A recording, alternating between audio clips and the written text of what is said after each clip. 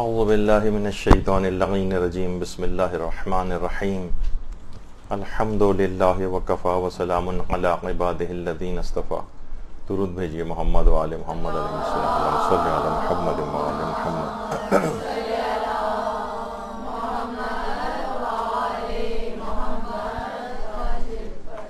जैसा कि आप सब लोगों के इल्म में है कि शायर हुसैनिया पर और आज़ादारी के फ़िकी मसाइल पर हमारी गुफ्तु जारी है। दीगर अनामीन, दीगर आप उलमा से तो सुन ही रहे हैं और मुझ, तालब इल्म के ज़िम्मे ये लगाया गया है कि आज़ादारी के फ़िकी मसाइल पर गुफ्तु की जाए। तो आज एक दिमागों में एक सवाल उठता है मुख्तलिफ़ शायर हुसैनिया के सिलसिले में कि ये जो हमारे यहाँ राइज है एक मातम जिसको आग पर मातम कहा जाता है या अंगारों पर चलना क्या इसका फ़िकी हुक्म क्या है? अभी आगे चलकर गुफ्तु में तमाम और मराजे इसमें मौजूदा भी होंगे और सबका भी होंगे उनके फ़िकी अहकाम बयान किए जाएँगे उनके अख्तलाफ फतावा को भी ज़िक्र किया जाएगा। अलबत् अगर कोई वाक़ता इस मसले को समझना चाहता है तो उससे पहले उसको आ, कुछ असलाहत को समझ लेना चाहिए। क्योंकि असलाहत को समझे बगैर हम देख रहे हैं कि चाहे सोशल मीडिया हो, या आम गुफ्तु हो, उसमें नौजवान असलाहत को समझे बगैर, फतावा को समझे बगैर ख़ुद से तबसरे करने शुरू कर देते हैं और ज़्यादातर वो तबसरे गलत होते हैं। तो इन, उन असलाहत को समझ लीजिए। देखिए, पहली तो चीज़ ये है कि शायर किसको कहते हैं? ये पिछली बार भी वैसे बात आई थी। शायर निशानियों को कहा जाता है। शायरा निशानी को कहा जाता है। ये सिंगुलर है, शायर प्लूरल है। यानी वो अलामत और निशानियाँ जिससे गम इमाम हुसैन का इजहार होता है। इसे शायर हुसैनिया कहते हैं। अच्छा एक दूसरी इतलाह को भी समझना चाहिए। इसके बगैर फ़िकी मसाइल को इस ज़मीन में समझना बहुत मुश्किल है। और वो है जजा जजा, किसको कहते हैं? मैं ज़्यादा आयन नहीं निकाल सकूँगा गुफ्तु में तेज़ रफ्तारी के साथ तो उसको आमतौर पर जजा पढ़ेंगे इसको। वो ये है कि आमतौर पर किसी भी गम के इजहार में जब बहुत ज़्यादा इंसान बेखुद हो जाता है किसी गम में तो उसकी बेताबी उस गम की, उसकी बेचैनी उस गम की वो कुछ तरीकों से ज़ाहिर होती है। आमतौर पर आपने देखा होगा आमतौर पर किसी के घर में अचानक से कोई नागाहनी मौत आ जाए इंसान अपने बालों को नोचने लगता है बाज़ सीने पर हाथ मारने लगता है और कभी कोई शख्स हो सकता है दीवार से सर टकरा दे कुछ ऐसी बेताबी का इजहार होता है। फ़कत आँसू बहना गम में वो तो एक अलग चीज़ है। लेकिन जजा कहते हैं बहुत ज़्यादा बेताबी और गम के जज्बात का ऐसा इजहार करना वो, वो जजा कहलाता है।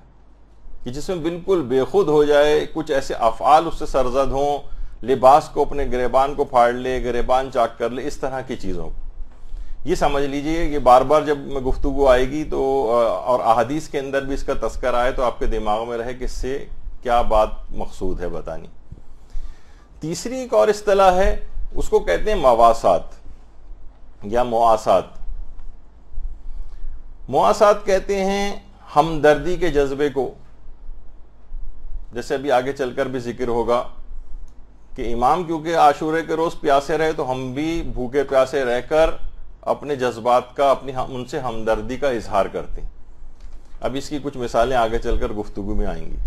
तो ये भी कहीं अगर आए तो आपके दिमाग में रहेगी थोड़ा सा पाँच मिनट का एक जरा खुश किस्म की मैं गुफ्तु कर रहा हूँ उसके बाद फिर जरा बात समझ में आने लगेगी। इस को समझ लीजिए पहले। हमदर्दी के जज्बात का इजहार। आपकी किसी सहेली के किसी रिश्तेदार का इंतकाल हो जाता है, आप सुबह से शाम तक उसके साथ रहती हैं, वो उसने भी खाया पिया नहीं है, आप भी उस दौरान कुछ खाती पीती नहीं है, ये आपने उससे मवासात का इजहार किया। इसको कहते हैं मवासात हमदर्दी के जज्बात का इजहार। अच्छा अगर आप वैसे देखें फ़िकी मसाइल को, वो तो अभी गुफ्तु को आगे आएगी। यानी अहले बैत से अगर मुआसात की नीयत से कोई अमल किया जाए तो ओलमा उसको बाईस सवाब समझते हैं। जैसे यही फाका करना, रोज़े आशूर, ये उनसे मवासात का इजहार। अभी इसकी कुछ और मज़ाहिर और मिसालें गुफ्तु में आगे चलकर आएँगी। अच्छा अगर आम हालात में अगर आप देखेंगे आयतुल्ला सिस्तानी की तोजुल मसाइल का पेज है। किसी भी आम शख्स की मौत के ऊपर क्या अहकाम है? जैसे 641 से इसमें। कि किसी की मौत पर इंसान के लिए एहतियात की बिना पर जायज़ नहीं है कि अपने चेहरे और बदन को जख्मी करे, अपने बालों को नोचे। हाँ अलबत् सर और चेहरे का पीटना जायज़ है। लेकिन क्या है, किसी भी शख्स को आम किसी शख्स की मौत के ऊपर, अमवात के अहकाम के अंदर आयतुल्ला सिस्तानी ने लिखा है। अपने बाप और भाई के अलावा किसी और की मौत पर गरेबान चाक करना एहतियात की बिना पर जायज़ नहीं। और एहतियात मुस्तहब है कि बाप और भाई की मौत पर भी गरेबान चाक ना की जाए। आम अमवात का हुक्म। अगर औरत मैयत के सोग में अपने चेहरे को जख्मी करके खून आलूद करे या बालून नोचे तो एहतियात की बिना पर उसका कफ़ारा है कि एक गुलाम आज़ाद करे या दस मिसकिन फ़कीरों को खाना खिलाए या उनको कपड़े पहनाए। और अगर मर्द अपनी बीवी या बेटे की मौत पर अपना गरेबान या लिबास फाड़े तो उसके लिए भी यही हुक्म है कि वो कफ़ारा दे। और अगला मसला है कि एहतियाती मुस्तहब यह है कि मैयत पर रोते वक्त आवाज़ को मामूल से ज़्यादा बुलंद ना किया जाए, यानी बहुत ज़्यादा इंसान जो अपनी आवाज़ को बुलंद करता है। तो आपने देखा ये आम अमवात का हुक्म है।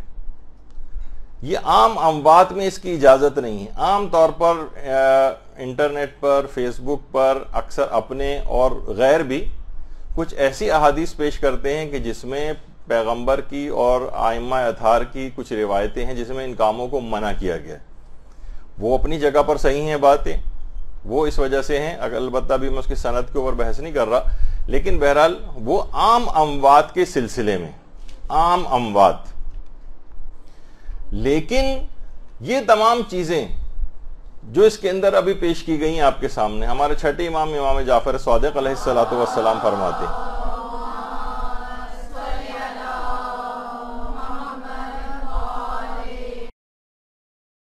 अच्छा अभी इससे पहले आपने जजा की तारीफ़ क्या सुनी थी कि ऐसी बेताबी का इजहार, गम के जज्बात, बाल नोचना, चेहरे पर तमाचे मारना, सीने पर हाथ मारना, दीवार से मसलन सर टकरा लेना, इस तरह की जितने भी अमूर होते हैं इमाम फरमाते हैं कि हर बुका और जजा मकरू है कि इंसान किसी की भी मौत के सिलसिले में वो इस तरह से जजा को फ़र्ज़ करे। सिवाय बुका और जजा इमाम हुसैन इबन अली वसलाम के लिए। क्योंकि अगर उसमें जजा का इजहार करेगा तो ये अल्लाह की तरफ़ से बायस अजर सवाब होगा। यानी ये बाकायदा इमाम की सिलसिले में हदीस है। तो उलमा ने ये जो जजा की जो कैफियत हैं, ये आम लोगों की अमवात के सिलसिले में तो इनको मकरू समझा गया है या बाज़ हालात में हराम समझा गया है।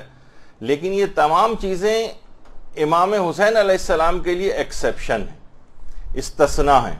वहाँ पर इन चीज़ों की इजाज़त है। आम लोगों में इनका इस अंदाज से इजाज़त नहीं जो आपने मसाइल फ़िक में आगे सिस्तानी के सुना। अच्छा एक चीज़ और तो ये जजा जजा आपको समझ में आ गया कि क्या है? इस तरह की चीज़ों से, इस अंदाज से बेताबी का इजहार करना, ये और किसी पर जायज़ नहीं। अच्छा कौन कौन सी चीज़ें जजा में शामिल हैं? ये हमें ओलमा और मुश्तिन से पूछना पड़ेगा कि हम ये फला अमल जो कर रहे हैं, क्या ये जजा में आता है? मसन क्या अभी आगे चलकर आएगा? क्या ये आग पे चलना जजा में आएगा? क्या मसन कमाजानी जजा में आएगी? क्या ये मसन दीवार से सर को टकराना जजा में आएगा? तो ये हमें महाराजे से पूछना पड़ेगा कि वो देख के बताएँ, यानी अपने इल्म से बताएँ हमें कि ये हमारी ज़िम्मेदारी इसमें क्या है। ये अभी मैं कुछ एक बेस बनाता जा रहा हूँ, अभी आगे चलकर बात आएगी।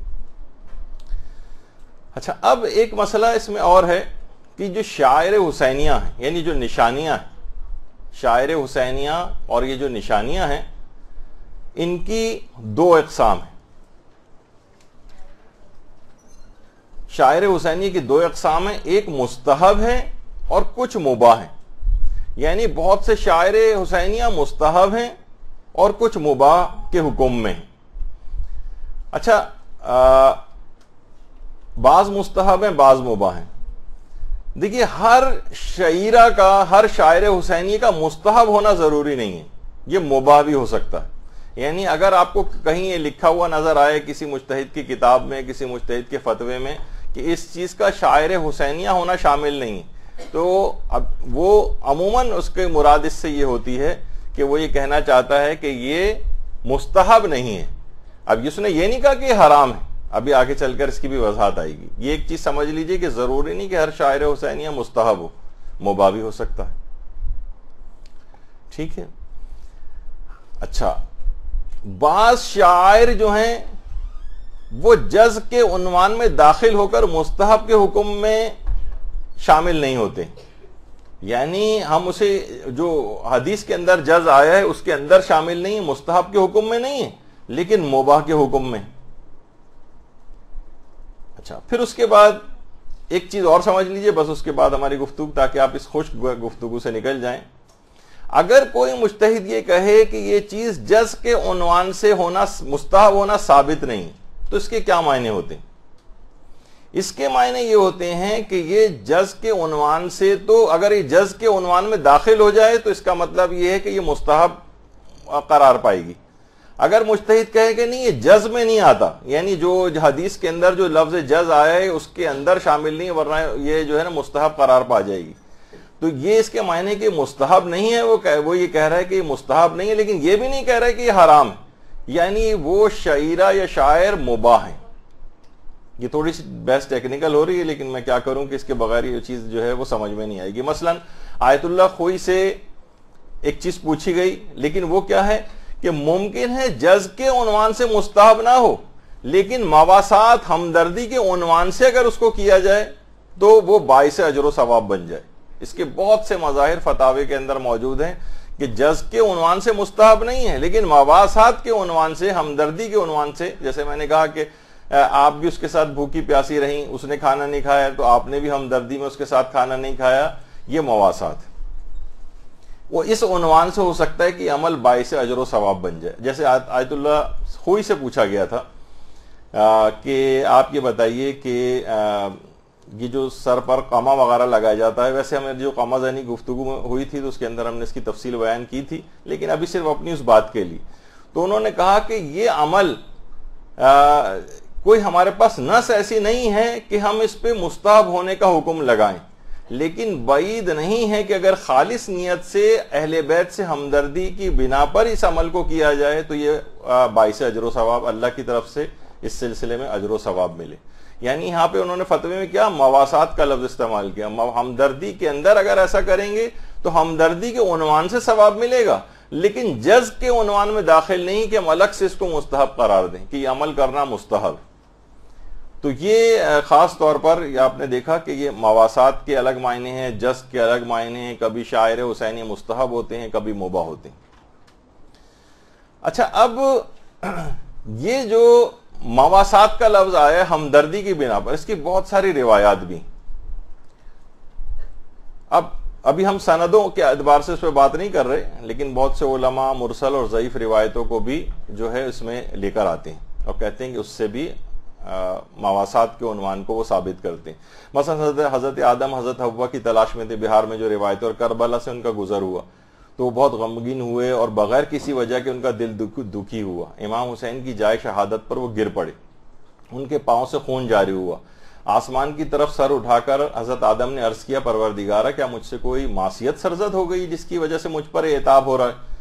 मैंने अपनी पूरी ज़मीन का तवाफ किया मुझे ऐसी तकलीफ़ कहीं भी नहीं हुई जो मुझे यहाँ इस ज़मीन पर हुई है। खुदा ने फरमाया आदम तुझसे कोई मासीत नहीं हुई लेकिन इस सरजमीन पर तेरा बेटा हुसैन मारा जाएगा तेरा खून उनके खून के मवासात और मवाफ़त की वजह से जारी हुआ है। हज़रत आदम ने इमाम हुसैन के कातिल यजीद पर चार मरतबा लानत की, फिर चंद कदम जबल अरफात की तरफ़ चले और वहाँ हज़रत हवा को पाया बिहार में। मवासात, उनसे हमदर्दी या उनके उनका इजहार अपने उस अमल के उनका खून बहा तो हज़रत आदम का खून भी वहाँ पर बहा। इसी तरह से बिहार में हज़रत इब्राहिम ज़मीन करबला से गुजरे तो वो घोड़े पर सवार थे, घोड़े को ठोकर लगी, वो घोड़े से गिर पड़े, सर जख्मी हुआ, खून जारी हुआ। इब्राहिम इस्तफार में मशगूल हुआ और किया बार लहा क्या मुझसे कोई तकसीर सरजद हो गई? जबरील नाजिल हुआ और कहा, आपसे कोई तकसीर नहीं हुई, लेकिन इस सरजमीन पर आखिरी नबी का नवासा और आखिरी वसी का बेटा शहीद होगा। बस आपका खून, उनके खून के मवासात तो मवाफ़त में जारी हुआ है। यहाँ पर भी वही लफ्ज मवासात हज़रत मूसा यूशा बिन नौन के हमरा सफ़र कर रहे थे। जब नीने करबला पर पहुँचे तो आपकी नाले, नालेन मुबारक पारा पारा हो गई और खारदार कांटा पाँव में दाखिल हुआ, पाँव से खून जारी हुआ। मूसा ने अर्ज़ की, बार लाह क्या मुझसे कोई नामतलू अमर सरजद हुआ है? अल्लाह की तरफ़ से वही आई कि यहाँ हुसैन शहीद होंगे, यहाँ उनका खून बहाया जाएगा। पस तुम्हारा खून उनके खून की मवाफ़त की वजह से जारी हुआ यानी वही मवासात। और एक और रिवायत जिस पर इंशाल्लाह हमारी एक गुफ्तु पूरी आएगी, और वो काफ़ी उस पर ओलमा की बहसें हैं। उसकी ऑथेंटिसिटी पर भी और उसके कलाम के ऊपर भी और बहुत सारी मबाइस हैं। फ़िलहाल उन मबाइस को कत नज़र करते हुए तकरीबन 18-20 ओलामा के फतवे तो मेरी निगाहों से गुजरे हैं, जिसमें उन्होंने इस रिवायत को मोतबर करार दिया और अक्सर ने मोतबर नहीं भी करार दिया। लेकिन फिर भी इस रिवायत को लाया जाता है तफसील अपने मुकाम पर कि हज़रत जैनब सलाम की नज़र कोफे पे अपने भाई इमाम हुसैन के सर अकदस पर पड़ी तो अपनी पेशानी को चौबे महमिल पर मारा और पेशानी मुबारक से खून जारी हुआ। तो बहुत सी किताबों के अंदर ये वाली रिवायत है। तो इसी को कहते हैं मवासात और मवाफ़त उनके साथ हुआ तो हम भी अपना कुछ अपने जिसम को ऐसा नुकसान पहुंचाकर खराज डालकर या किसी भी तरह से उनके एहसास करें कि वाकता वो कितनी मुसीबत में उन लोगों ने आ, उस वक्त को जो है वो गुजारा है। इसको मवासात और मवाफ़त जो है वो कहा जाता है। अच्छा इसमें अगर आप देखें आयतुल्ला सिस्तानी के भी शायर हुसैनिया। सवाल और जवाब जो उनकी वेबसाइट पर है कि मुहर्रम में आशूरे के रोज़ खातन अपने बालों को नोचती हैं। क्या ये जायज़ है? क्या इस पर कोई कफ़ारा है? जवाब, ऐसा करना जायज़ है और उस पर कोई कफ़ारा नहीं। अभी आपने आम अमवात के अहकाम में आपने देखा था तो कि उसमें वहाँ पर उन्होंने कफ़ारे को भी ज़िक्र किया था। लेकिन वो आम अमवाम का आम बात, आम अमवात का हुक्म था। वो इमाम हुसैन के सिलसिले में नहीं था। इमाम हुसैन के सिलसिले में एक्सेप्शन है कि वहाँ पर इसकी इजाज़त है।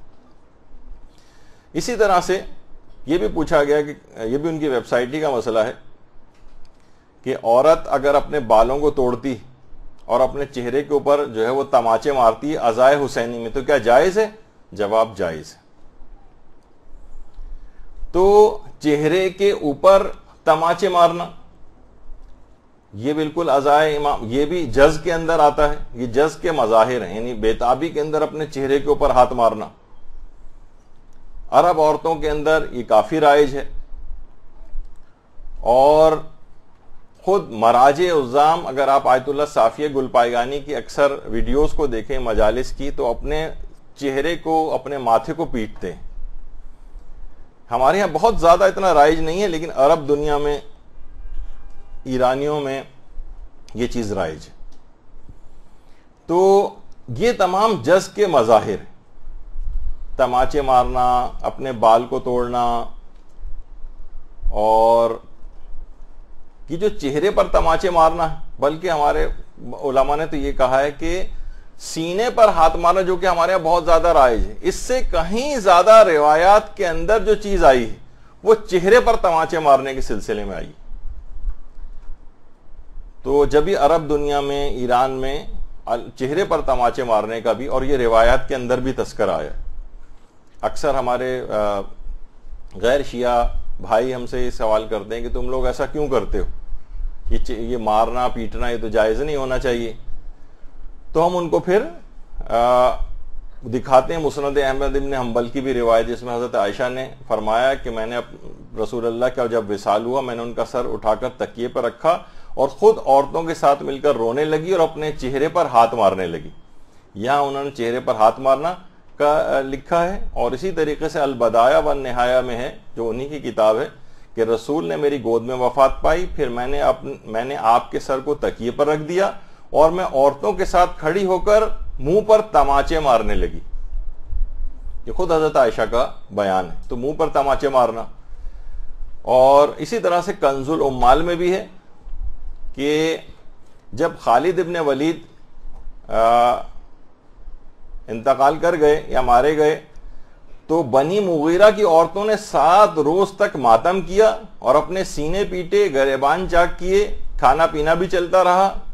और इस तमाम चीज़ों को ये जो आ, सीना को भी और नोह खानी और ये मातम वगैरह होता रहा सात दिनों तक इसको हज़रत उमर ने बिल्कुल मना नहीं किया। तो बहुत सारी रिवायात इस सिलसिले में हैं कि जज के ये मज़ाहिर, ये दूसरों के सामने भी आप पेश कर सकते हैं कि चेहरे पर तमाचे मारना। आप चेहरे पर जब तमाचे मार सकता है तो गम के जज्बात में इंसान सीने पर भी हाथ मार सकता है। तो सीने का मातम भी जो है, वो उससे इन चीज़ों से साबित हुआ है। अच्छा तो उस लिहाज से जज के मज़ाहिर के अंदर सीने के ऊपर, यानी हम जो हाथ का मातम करते हैं, ये भी उसी के अंदर आता है और जायज़ है। और इसी तरह से गरेबान चाक करना, ये ये भी रिवायत में आया है और बाकायदा आयतुल्ला सिस्तानी ने भी इसका फतवा दिया है कि इसमें कोई हरज नहीं है कि अगर इंसान गम के जज्बात में अजाए इमाम के अंदर अपने गरेबान को चाक कर ले तो इसके ऊपर ना कोई कफ़ारा है, ना कोई ये हराम काम है और ये काम बिल्कुल जायज़ इसी तरह से और इन, इस गरेबान चाक करने के मुतालिक आयतुल्ला वहीद खुरासानी का भी फतवा है। उन्होंने भी कहा कि इसके अंदर कोई हरज नहीं। ये उनके फतवे की, का एक पिक्चर शॉट है। अच्छा इसी तरह से सर पर हाथ मारना ज़ोर ज़ोर से सर पर हाथ मारना, ये सब भी इसमें इजाज़त है। रानों को पीटना या बहुत ज़्यादा रोना और अपनी आवाज़ को बहुत ज़्यादा बुलंद करना। और रिवायात के अंदर हमारे छठे इमाम इमाम जाफ़र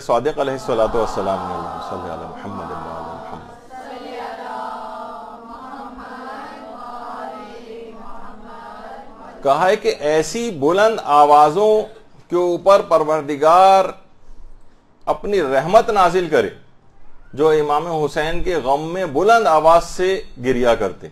ऐसी आवाजों के लिए जो बुलंद आवाज़ से गिरिया कर वरहम तिलका तिलका सरखतलती कानत लना। सरखा कहते नहीं बहुत ही बुलंद आवाज़। ऐसी आवाजों के ऊपर इमाम ने रहमत नाजिल करने के अल्फाज जो है वो इस्तेमाल किए। तो अब ये तमाम चीज़ें आपने सुनी। अब ये दिमाग में आता है कि ये जो है, ये तो तमाम चीज़ें हैं कि जजा के उन्मान में ये चीज़ें दाखिल हैं जो भी आपने सुनी। लेकिन ये क्या आग पर चलना ये भी जजा के उन्वान में आता है या नहीं? इसका क्या हुक्म है? देखिए, वैसे अगर आप फतावे पढ़ें, उसमें अल अलमशी अरल जमर, यानी अंगारों के ऊपर जो है वो चलना, आग पर चलना इख्तहामुन्नार अलमशी अलन्नार इस तरह के अल्फाज जो हैं वो आए हैं। तो अच्छा अब जिस तरीके से आपको पता है कि कमाजानी के सिलसिले में उलामा के बहुत से ग्रोह हैं इसी तरह से आग पर मातम के सिलसिले में भी उलामा के अलग अलग ग्रोह हैं। बाज़ उलमा हराम कहते हैं।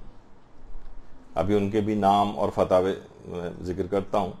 बाज मुस्तहब कहते हैं और बाज कहते हैं कि यह अमल जायज़ है। अच्छा और बाज कहते हैं कि जजा के उनवान में तो शामिल नहीं है। लेकिन मवासात के लिहाज से बाईस अजर सवाब है। कुछ जो है ओलमा कुछ शर्तों के साथ जायज़ कहते हैं। अब जो शर्तें भी इसके अंदर खास तौर पर एक जो शर्त है वो है तशखीस मौजू वाली शर्त यानी कि इससे अगर मज़हब की तोहन हो रही है तो हराम है। तो अब ये इन शर्तों की, की भी तशखीस जो है मुकलफ खुद करे और अगर कोई शख्स तशखीस कर ले कोई भी चीज़ मसलन वो तशखीस कर ले कि नहीं, इसमें कोई तोहन तोहन मज़हब नहीं।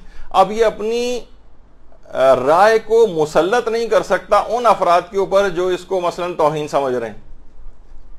नहीं, तुमने तशखीस कर ली कि नहीं है तुम, तुम्हारी मर्ज़ी, तुम अंजाम दो अपने मशतहिद के फतवे के मुताबिक, लेकिन अपनी राय किसी पर थोपो नहीं।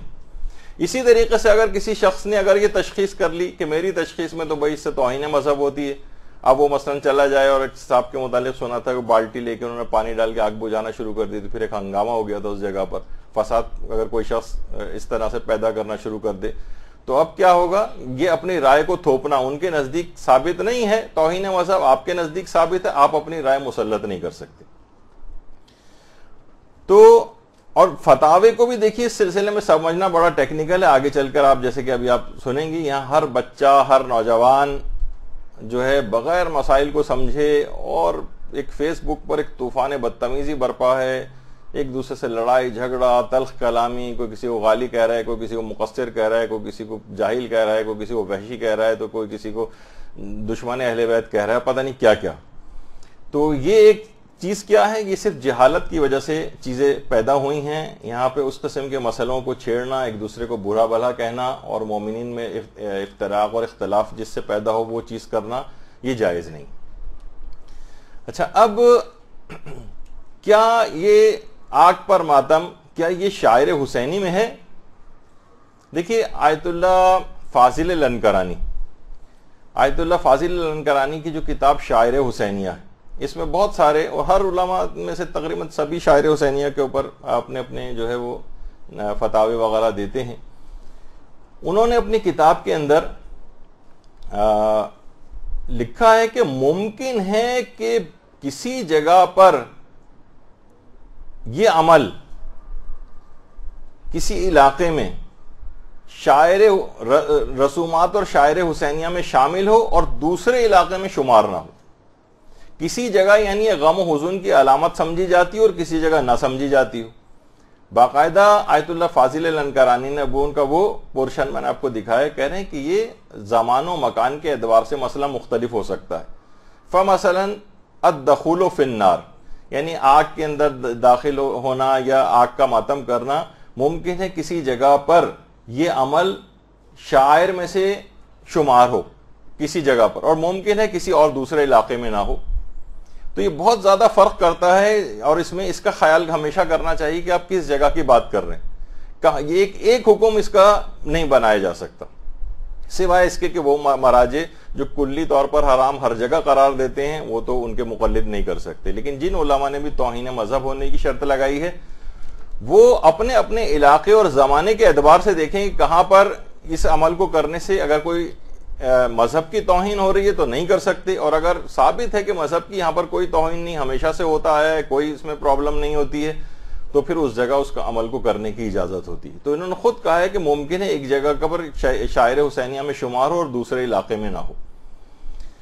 अच्छा अब कुछ इस मसले में भी उलमा का इख्तलाफ है कि क्या इसको जज के उनवान में या मसादिक में शामिल करेंगे या नहीं? तो कुछ उलमा कहते हैं, जी हाँ ये जज के उनवान में शामिल है और उस लिहाज से मुस्तहब भी है करना अभी आगे चल के फतवाएँगे कुछ कहते हैं कि नहीं जज में होना साबित नहीं है इसका। यानी जो रिवायत में लफ्ज जज आया जिसमें इजाज़त मिली, उसमें शामिल नहीं है तो लिहाजा इसके मुस्तहब होने का उस लिहाज से हुक्म नहीं लगाया जा सकता।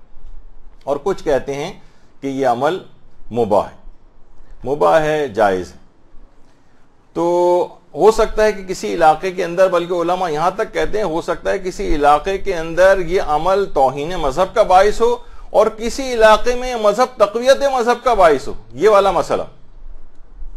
किसी इलाके में तकवीत मज़हब, यानी मोमिन की मज़हब की तकवीत एक, इससे ये भी मुराद होती है, यानी बाज़ात ये भी होता है कि वरना उस इलाके के अंदर अगर हम कुछ शायर को हटा लें तो वहाँ मोमिन का ईमान कमज़ोर पड़ जाएगा उनमें इतिहाद इतफाक बाकी नहीं, नहीं रहेगा या वो किसी रस्म अज़ा से दीन से मुंसलिक और जुड़े हुए हैं और आप, और आप उस रस्म अज़ा को अचानक से उनके दरमियान ख़त्म कर दें तो वो डिजॉल्व हो जाए। जैसे कि नजब से कालिम यहाँ पर आए हुए थे हमारे मदरसे में भी तो उन्होंने एक बात बताई थी कि उनका आयतुल्ला इसाक फैयाज के पास काफ़ी आना जाना है। तो उन्होंने बाकायदा आयतुल्ला फैयाज से भी, मैं उसकी बहस नहीं कर रहा, उसमें महाराजे में इख्तलाफ है। लेकिन उनसे वैसे ही कहा कि कुछ रसूमात हमारे यहाँ बहुत ज़्यादा यहाँ पर इस तरह से राइज हैं, जिसके अंदर बहुत सारी चीज़ों का नाम लिया उन्होंने, कामाजानी वगैरह और सब, उसमें आपकी क्या राय है? तो उन्होंने उससे कत नज़र होके इसके फ़िकी मसले कहा कि देखो कि पाकिस्तान के अंदर आप शियों का कोई इल्मी तशखस नहीं। वहाँ पर एक लिहाज से उन्होंने वाज तौर पर कहा कि इल्म वहाँ पर है नहीं। इस तमाम आवाम को अगर देखा जाए वहाँ पर सब लोग इन्हीं मरासिम के ज़रिए, मरासिम अज़ा के ज़रिए दीन से अटैच है। अगर आप इन मरासिम को दरमियान से निकाल देंगे तो चंद सालों के अंदर आप बिल्कुल गुमनाम और लापता उनके दरमियान हो जाएँगे। तो इन मरासिम के ज़रिए इनको ज़िंदा रखा जाए, लोगों को अटैच रखा जाए, इसकी एक हैबत है, जो आपके मुखालिफिन है, उनके दिलों पर भी इन मरासिम अज़ा की एक हैबत है।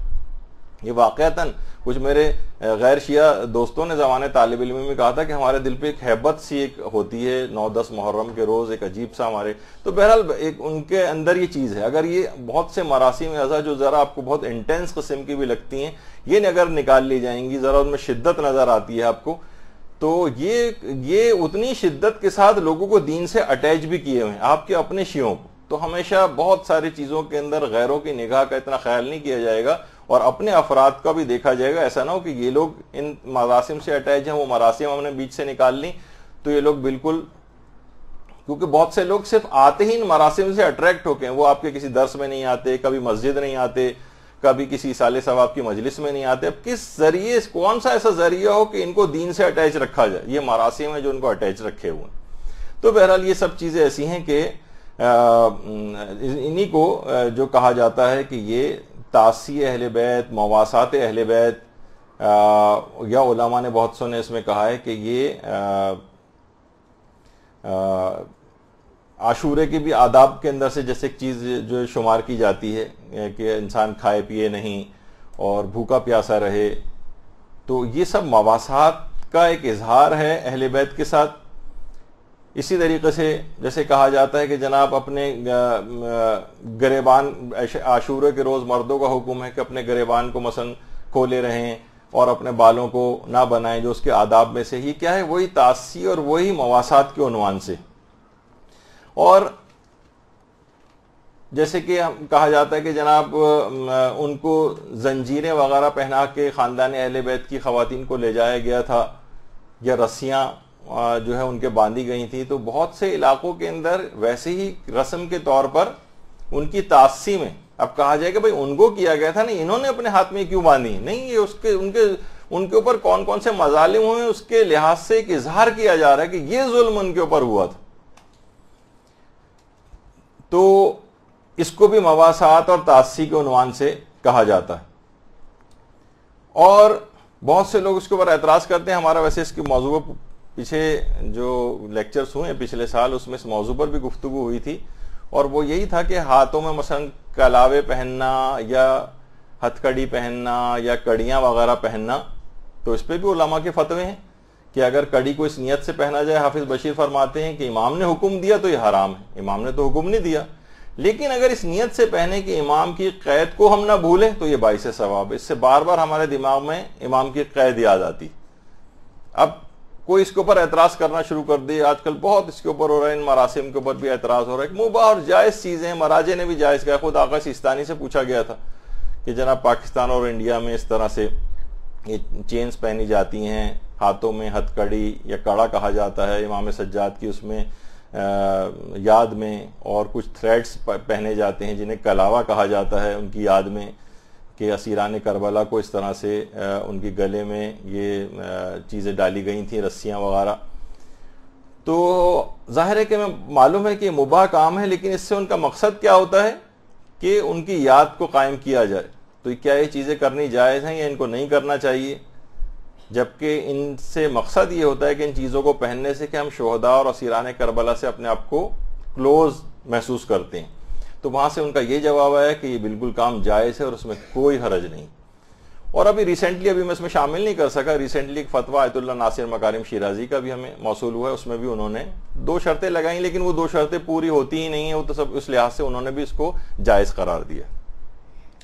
तो बहरहाल वो इनशाला किसी और उसमें मैं पेश कर दूँगा। अब इतना वक्त नहीं था कि इसके अंदर इसको शामिल कर सकते, लेकिन बहरहाल उनका भी तो किसी भी आलिम से पूछेंगे तो कहेगा, कोई हरज नहीं, पहन सकते तो ये उनकी तासी के अंदर कि हम उनकी चीज़ों को भूले नहीं, उनको मुख्तलिफ़ तरीक़ों से याद करते रहें, उनके मजालिम की याद करते रहें। इसी तरह से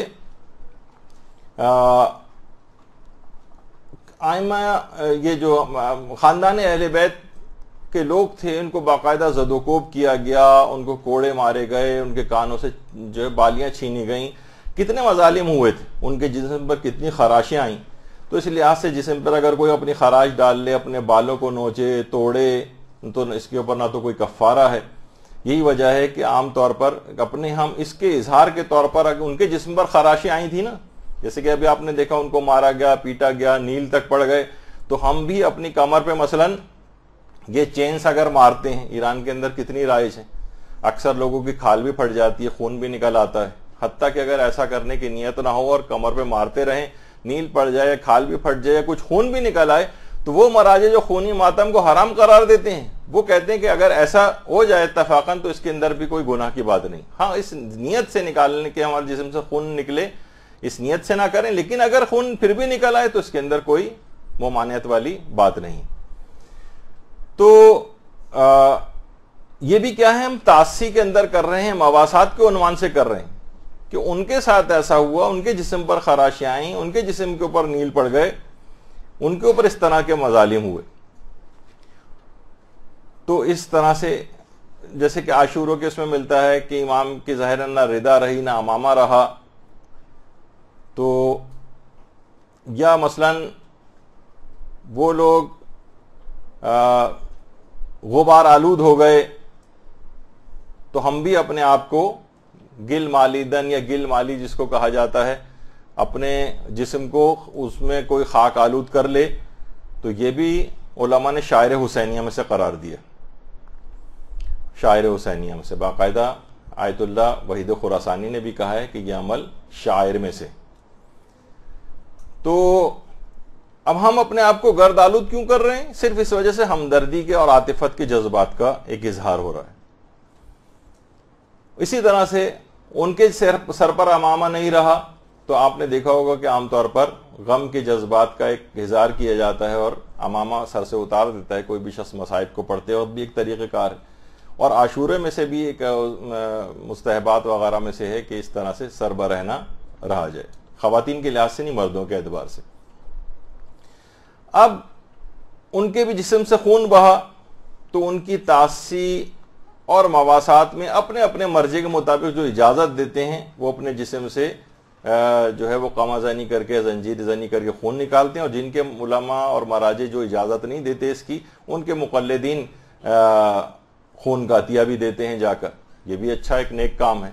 अलबत् ये दिमाग में रहे, ये भी हमने पिछली दफ़ा जब ये गुफ्तु आई थी तो उसमें बात कही थी कि बहुत अच्छा और नेक अमल है, ब्लड डोनेशन वगैरह देना, लेकिन ये शायर हुसैनिया में शामिल नहीं। ये गम हसन की अलामत नहीं। यानी शायर हुसैनिया वो चीज़ें जिनके गम के जज्बात का इजहार हो ये बहुत अच्छा नहीं, जैसे आप कोई कहे कि भाई आप ऐसा करें, उस दिन रोए नहीं, बल्कि उस दिन सदका दे दें। उस दिन आप जो है वो गिरिया मातम ना करें, आशूर के रोज और तिलावत कुरान करें। तिलावत कुरान, इतना अजीम सवाब, सदका देना बहुत ही अच्छा काम, लेकिन ये शायर हुसैनिया नहीं।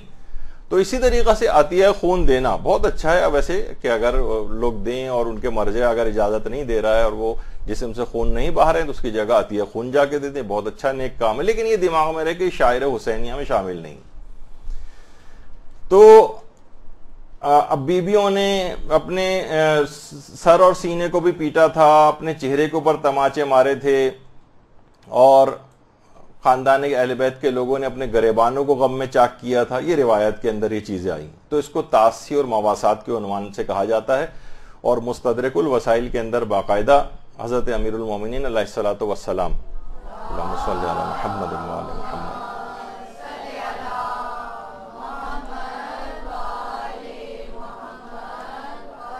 एक रिवायत भी है कि अलमवासात अफजल आमाल। यानी मवासात जो है ये अफजल तरीन आमाल में से। यानी हमदर्दी का इजहार करना। अब हमदर्दी के मुख्तलिफ़ अनावीन ने अपने फतवों में इस तरह से ज़िक्र की जो भी आपने इससे पहले सुने।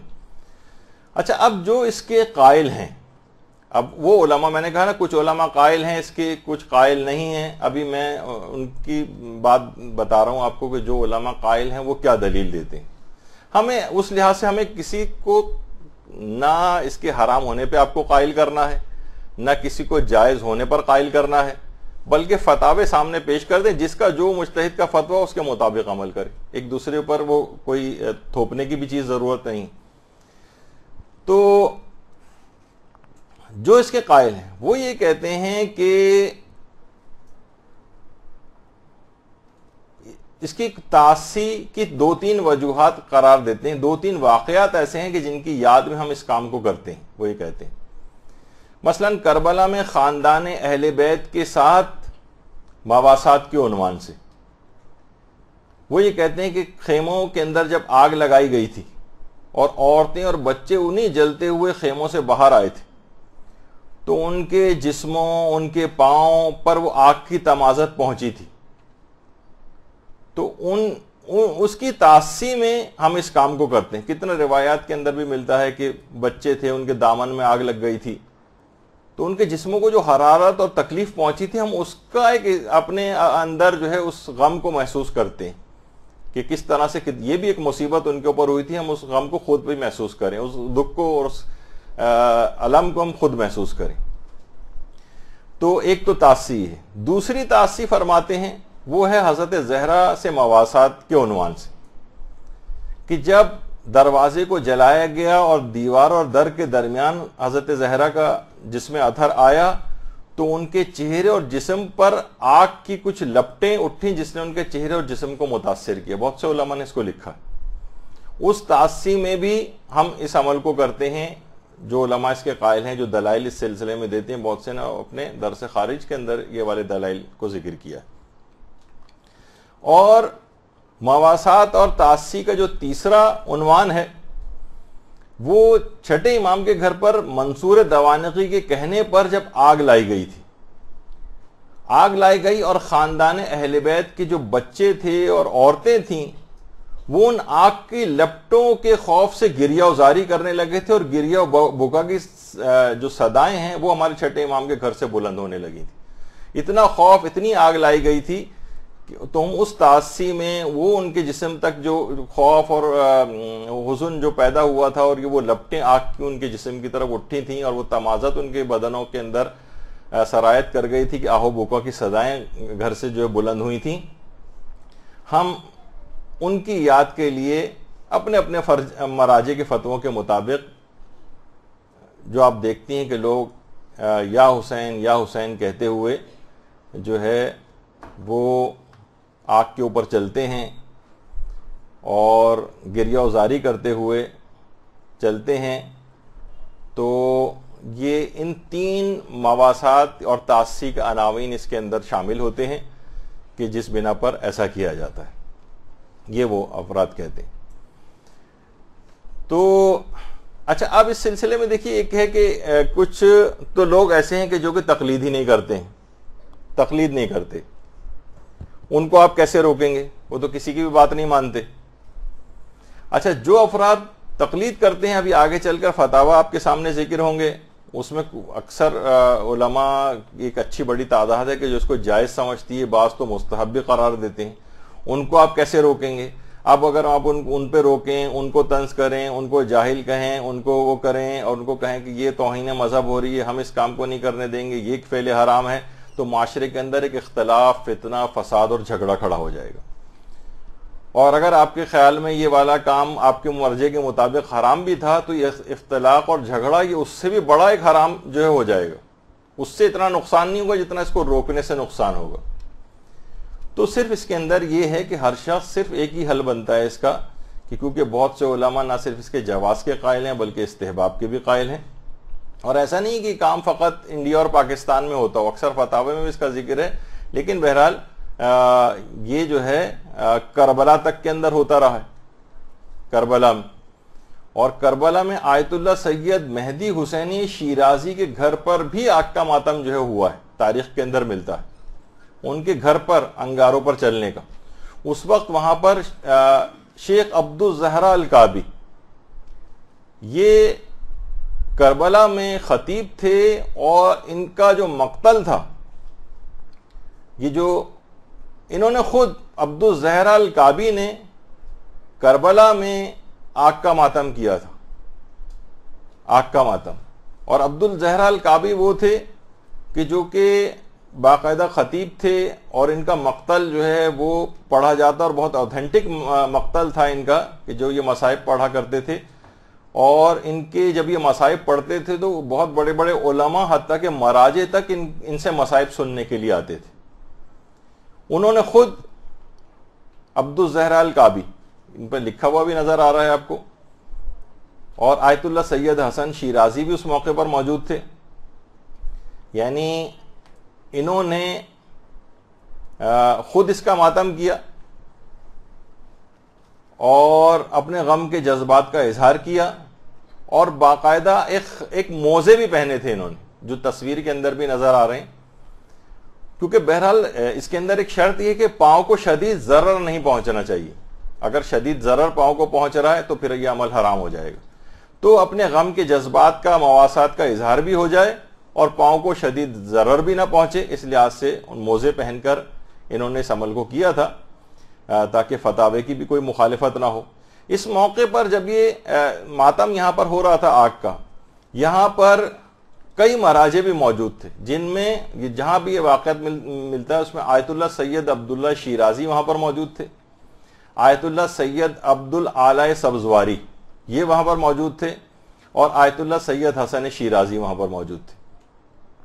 तीन महाराजे तो उस वक्त खुद ही वहाँ पर मौजूद थे और इनके भी फतावे आकर चलकर आएँगे कि ऐसा नहीं था सिर्फ़ देखने के लिए वहाँ पर आए थे, बल्कि वो खुद भी इसको जायज़ समझते थे। अच्छा अब जो उलमा इसको जायज़ कहते हैं, वो ये कहते, उनके पास कुछ दलाइल है। कुछ तो रिवायात के एतबार से भी।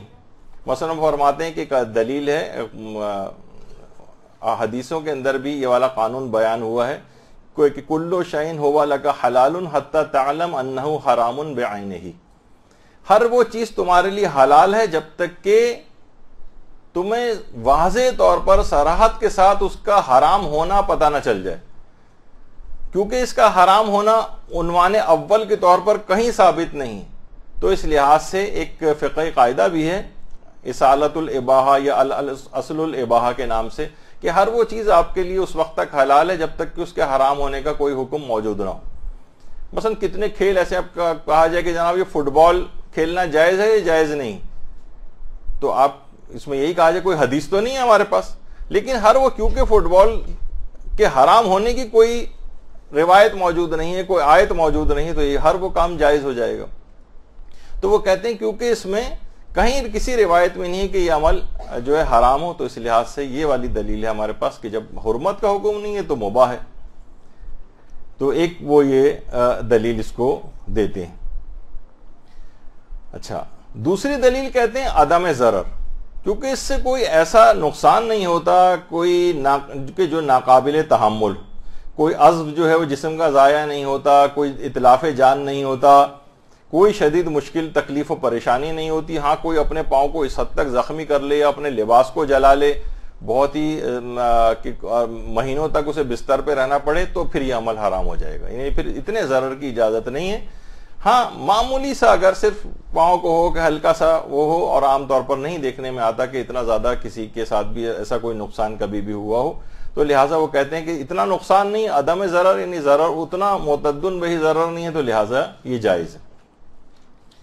अच्छा कहते हैं हाँ अलबत् अगर किसी जगह पर तोहन मज़हब हो रही तोहन मज़हब यानी उस जगह के रहने वाले इमाम हुसैन से दूर हुए चले जा रहे हैं, इस्लाम को छोड़े बैठ रहे हैं, मसलन इस्लाम से दूर हो रहे हैं, शीयत से बिल्कुल दूर हो रहे हैं। और ऐसा कोई मसला पेश आ रहा है, शियों से नफरत की जा रही है इस बिना पर, उनसे मेलजोल को मसलन तर्क किया जा रहा है, कुछ उलमा ने यह भी कहा है कि तोहन मज़हब होने के अनुमान से।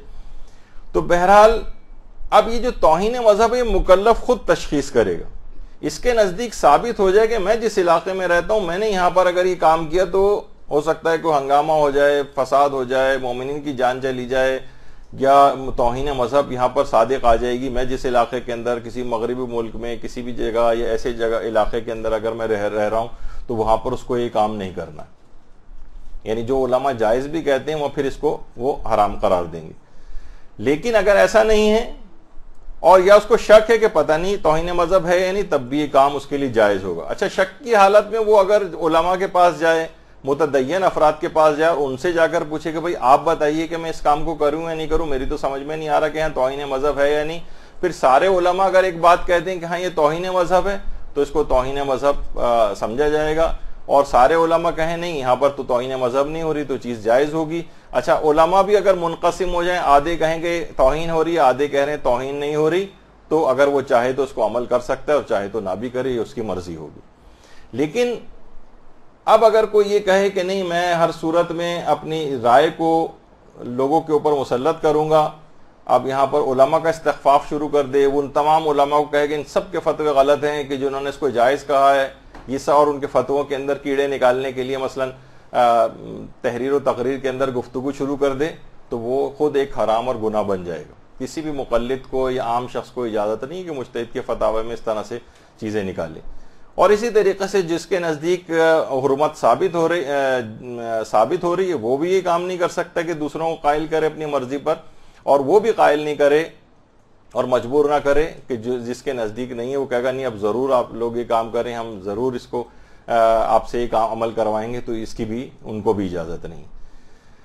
तो अब देखिए कि तोहन मज़हब का होना जो कायलिन हरमत हैं उनके पास फ़कत ये वाली एक दलील है कि मज क्योंकि इसमें तोहन मज़हब होती है कुछ इलाकों में तो लिहाजा इस काम को आ, नहीं करना चाहिए। लेकिन ओलामा ने इसमें यह भी बात कही है कि बहुत से इलाकों के अंदर अगर आप देखें जैसे कि अभी मैं आ, इसकी मिसाल दूँ कि अभी जो आ, हालिया मुहर्रम के अयाम गुजरे उसमें बाकायदा बहुत सारे टीवी चैनल्स के ऊपर ये बात कही गई कि आज़ादारा ने इमाम मजलूम ने आग का मातम किया, क्लिप्स भी चलाए गए, और किसी भी जगह ऐसा कोई उनवान नहीं था कि तोहन मज़हब जो है लाजिम आ रही सब लोगों ने देखा हाँ गम के हर कौम और कबीले के अंदर गम के जज्बात का एक इजहार होता है।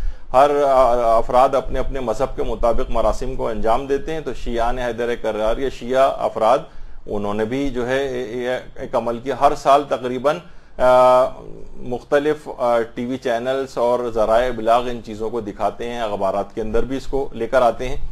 लेकिन कहीं पर भी इस उनवान से कि शियों से लोग नफरत करने लगे फ़कत इस वजह से बहरहाल ये मेरी अपने उस लिहाज से ज़ाती राय भी है कि इससे तोहन मज़हब का उनवान सादक नहीं आता।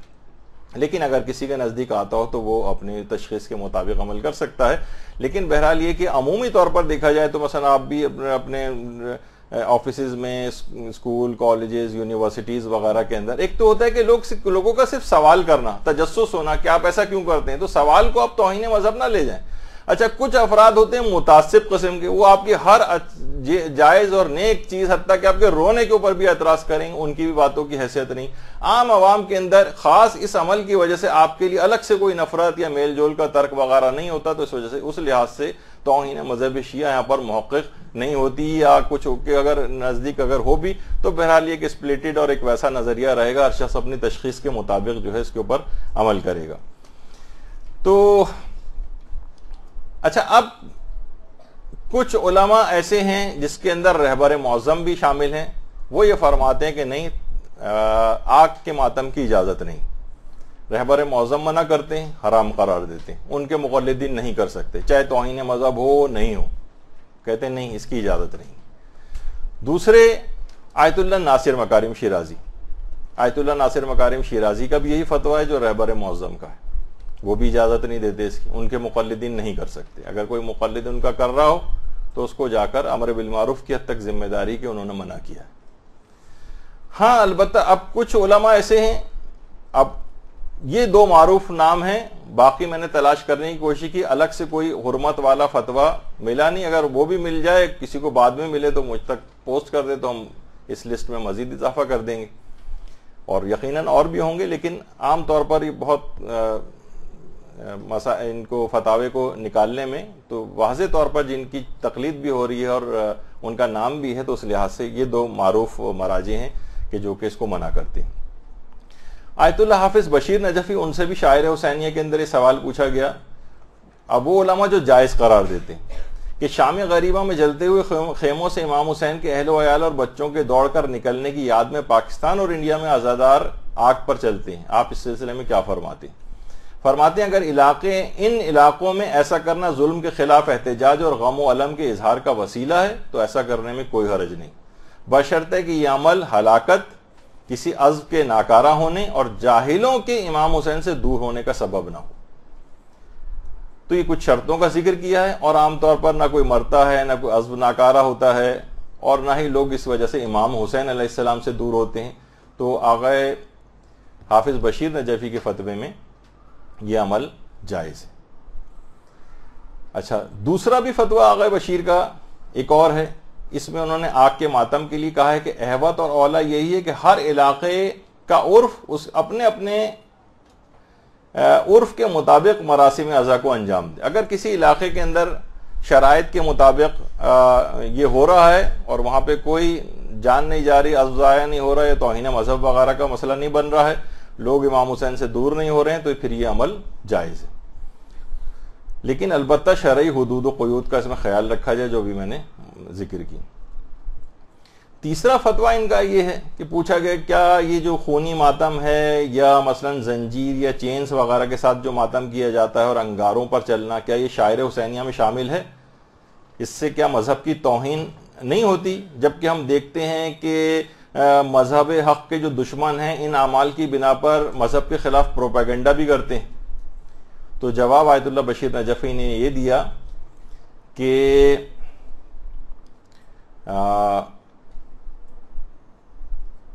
जिन बातों की तरफ़ आपने इशारा किया है, ये सब शायर में शामिल हैं और पसंदीदा हैं। अलबत्ता अगर आपका इरादा यह है कि दुश्मनान खुदा को, दुश्मनान रसूल को और दुश्मनान अहल बैत को राज़ी करें तो यह उस वक्त तक नहीं होगा जब तक कि आप मज़हब अहल बैत को छोड़ ना दें।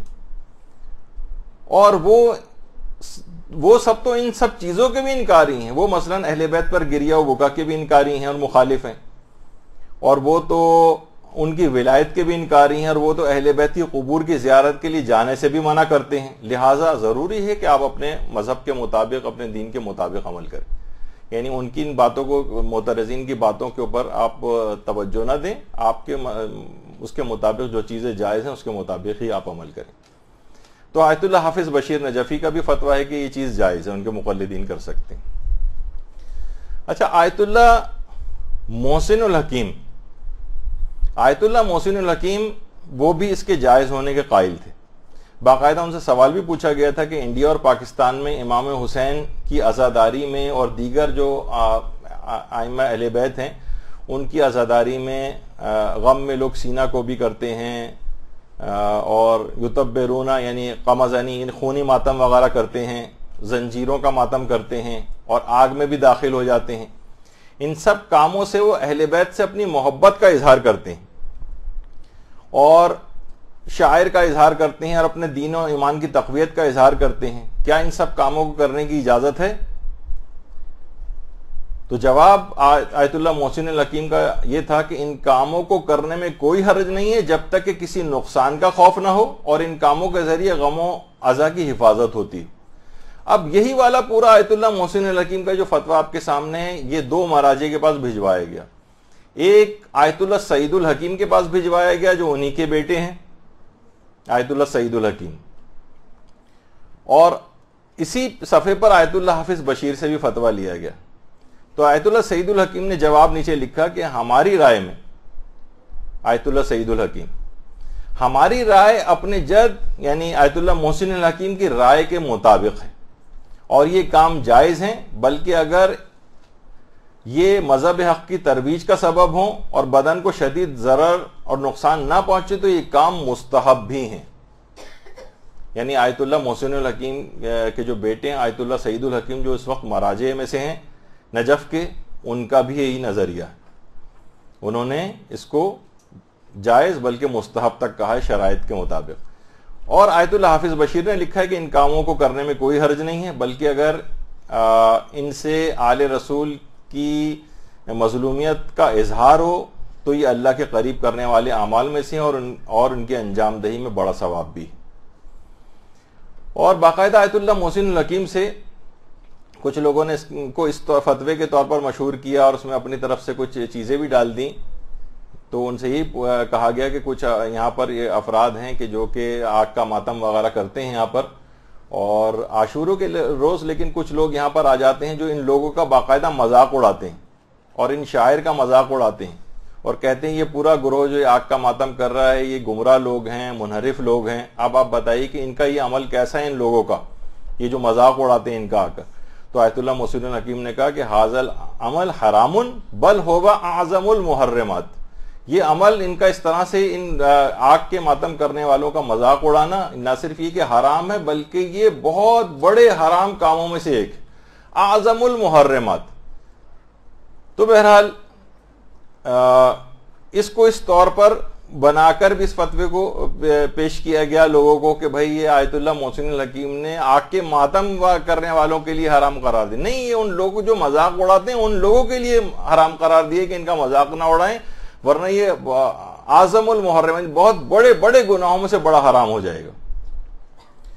अच्छा इसी तरह से आयतुल्ला सैयद महमूद शाहरूदी। देखिए, मैं आपके सामने सिर्फ़ ये पेश करता जा रहा हूँ, बहुत सारी चीज़ें, ताकि आपके सामने एक दफ़ा ये मसला बिल्कुल क्लियर हो जाए। बाकायदा जो किताब नुसरतुल नुसरतुल मजलूम जो है उसमें सफ़ा 149 पर आयतुल्ला सैयद महमूद शाहरुदी का फतवा नकल हुआ सवाल किया गया पाकिस्तान में। देखिए पाकिस्तान का भी नाम है। मरासिम अज़ा में आ, लोग जंजीरों का मातम करते हैं खूनी मातम करते हैं काला लिबास पहनते हैं आशूरे में आग पर मातम करते हैं। और यहाँ के शियों का ये तरीका है। क्या ये जायज़ है? तो जवाब यह आया उनका कि अगर कोई शख्स कॉन्फिडेंट है कि कामे की ज़रब से वो हलाक नहीं होगा ना उसका कोई अज़ ज़ाया होगा आ, या मफलूज नहीं होगा तो ये अमल हराम नहीं है और ये जायज़ है। और आग में दाखिल होना अगर ये तोहन मज़हब का सबब ना हो और इसमें कोई और हराम काम ना हो तो ऐसा काम इसको करने में भी बजाते खुद कोई हरज नहीं। यह आयतुल्ला सैयद महमूद शाहरुदी बड़े मराजे में से थे। उनका ये नज़रिया और यही फतवा उनका एक और जगह पर भी। और अभी आपने सुना था कि आयतुल्ला अब्दुल्ला शीराजी, जो कि खुद उस कमा, जहाँ पर आग का मातम किया था और अब्दुल जहरा काबी ने किया था, ये खुद भी वहाँ पर मौजूद थे। उन्होंने भी, उनसे भी सवाल पूछा गया कि एशिया और अफ्रीका में लोग सीना को भी करते हैं जंजी जनी करते हैं, कमाजनी करते हैं, शबीहें निकालते हैं, तबल बजाते हैं, आग में दाखिल होते हैं, यानी अंगारों में चलते हैं। क्या ये जायज़ है? तो उन्होंने जवाब दिया कि ला इश्काल फ़ी जवाज शायर हुसैनिया मस्कूरा ये जितने भी आपने चीज़ें ज़िक्र कर की हैं सारे काम करना जायज़ कोई इश्काल ही नहीं उनका भी यही फतवा है। इसी तरीके से आयतुल्ला सैयद अब्दुल आला सब्जवारी, इन्होंने भी इन सब चीज़ों को शायर करार दिया है और इनको निजात का वसीला और बेहतरीन वसीला जो है करार दिया है। और इसी तरह से आयतुल्ला सैयद अली तबा तबाई तबरेजी, ये उनका फतवा है। और इन्होंने लिखा है कि ये सब काम जो मुसलमानों में राइज हैं सब जायज़ हैं और इमाम हुसैन के गम के जज्बात का इजहार इनसे होता है। और किसी हदीस में शार मुकद्दस की तरफ़ से इन कामों को करने में कोई ममानियत नहीं, कोई ममानियत नहीं पाई जाती। तो उनका भी फतवा यही है। ये सब वो, उसी जिम्न में सवाल चल रहे हैं और उनके सिर्फ़ मैं जवाब आपको जो है दिखा रहा हूँ। बस ये ख़त्म होने वाला है थोड़े कुछ फतावे देख लीजिए ताकि आपके सामने फिर एक इनका एक नतीजा भी आ जाए। इसी तरह से Ayatollah Sayyid Ali Husseini Isfahani इन्होंने अपने फतवे के आखिर में कहा कि खूनी मातम और आग का मातम ये इस शर्त पर जायज़ है कि इनसे कोई जान को कोई जान जाया नहीं होगी और फरमाते हैं खुद कि अल्हम्दुलिल्लाह ये बात पाई जाती कि ऐसा कोई नुकसान नहीं होता। लिहाजा इनके फतवे में, में भी ये चीज़ जायज़ थी। इसके बाद आयतुल्ला सादिक रूहानी ये मौजूदा ज़िंदा मराजे में से इनकी किताब जो कुर्बान शहादा, उसमें उन्होंने बाकायदा इसमें सवाल है कि आग के मातम के मुतालिक जो है, वो आपका यानी क्या नज़रिया है? तो उनका जवाब है कि ला दलील अल मना, वल असल होवा अल जवाज। इसके मना होने पर कोई दलील नहीं है, बल्कि असल ये है कि ये काम बिल्कुल जायज़ देखिए बाज़ात होता है ना कि ये काम जायज़ है, जायज़ नहीं तो खुद मराजे में से भी आयतुल्ला सादिक रूहानी ने कुर्बान शाहदा में बाकायदा ये फतवा दिया। दूसरा फतवा भी है, उनकी वेबसाइट के ऊपर मौजूद है। और उसमें यही है कि हुक्मुल मशी अल जमर फ़ी मोसाब अबा अब्दुल्ला हुसैन अलैहिस्सलाम यानी आग के मातम तो उसमें उन्होंने यही जवाब दिया है कि पाओ पर अगर शदीद जरर वाक़ ना हो तो ये काम जायज़ है, बल्कि एक बेहतरीन अमल है। और एक तीसरा फतवा भी है इनका। वो ये कि अहल बैत के मसाइब और गम की तासी में, मरासिम, आशूरा में आग या अंगारों पर चलना कैसा है? तो इन्हें जवाब दिया, मेरी नज़र में एक बेहतरीन अमल है, क्योंकि तमाम शक्लों में इमाम हुसैन के लिए ताज़ियत पेश करना एक अच्छा अमल है। सिवाय इसके कि इस अमल में कोई शरय एतबार से कोई हराम चीज़ आ जाए या अकायद के ख़िलाफ़ कोई बात दाखिल हो जाए तो फिर इस अमल की इजाज़त नहीं होगी। और एक और चौथा फतवा भी है इनका जो कि एक हज़ार सवाल हैं फतावा और सवाल तकलीद और अकायद पर। उसमें भी यही फतावे ज़िक्र हुए। अच्छा आयतुल्ला सादिक रूहानी तो अभी ज़िंदा भी हैं, और इनसे बाकायदा इसी मुतालिक एक सवाल पूछा गया था तो अपनी, इनके अपने अल्फाज में भी इसको ज़रा आप देख लें।